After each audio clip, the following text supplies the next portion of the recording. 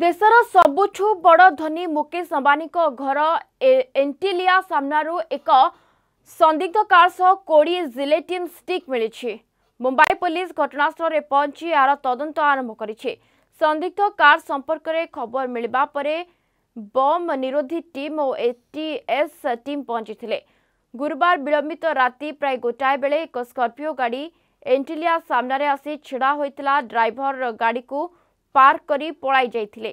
ଖବର ପାଇ Mumbai police dog squad ସହ ପହଞ୍ଚି ଛାନବିନ୍ ଆରମ୍ଭ କରିଥିଲା ଗାଡ଼ି ଭିତରୁ ଜିଲେଟିନ୍ ଷ୍ଟିକ୍ ସହ କେତେକ ଗାଡ଼ିର ନମ୍ବର ପ୍ଲେଟ୍ ମଧ୍ୟ ମିଳିଛି। ଏହି ନମ୍ବର ପ୍ଲେଟ୍ଗୁଡ଼ିକ ମୁକେଶ ଅମ୍ବାନୀଙ୍କ ସୁରକ୍ଷାରେ ନିୟୋଜିତ ଗାଡ଼ିଗୁଡ଼ିକର ନମ୍ବର ପ୍ଲେଟ୍ ସହ ମେଳ ଖାଉଥିବା ଜଣାପଡ଼ିଛି। ଏଣ୍ଟିଲିଆ ସାମ୍ନାରେ ବହୁ ସୁରକ୍ଷା କର୍ମୀଙ୍କୁ ମୁତୟନ କରାଯାଇଛି।